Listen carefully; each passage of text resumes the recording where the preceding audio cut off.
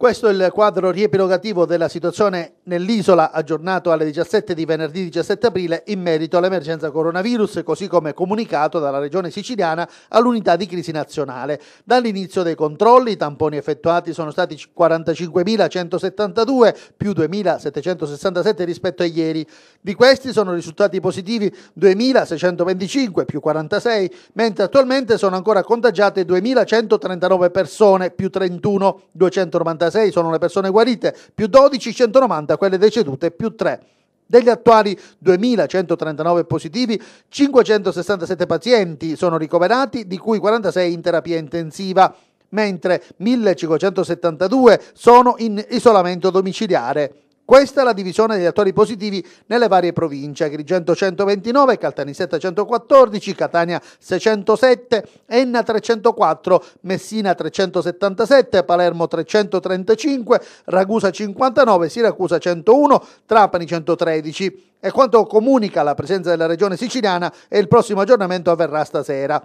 Questi infine i dati trasmessi dall'azienda sanitaria provinciale di Agrigento comune per comune.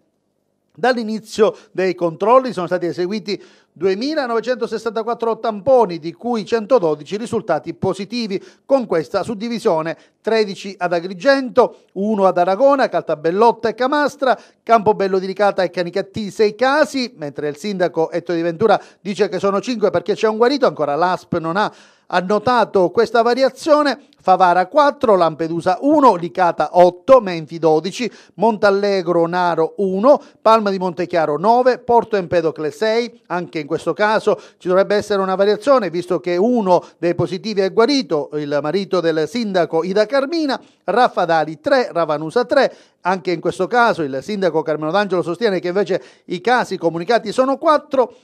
Realmonte 1, Ribera 8, Santa Margherita di Berice 3, Sciacca 23, Siculiana un caso. Per quanto riguarda le persone ricoverate, al momento sono 11 e sono suddivisi a Caltagirone 1, Caltanissetta 4, 1 a Enna, Marsala e Messina e un altro all'Arnas civico di Palermo, mentre due persone sono ricoverate a Partinico.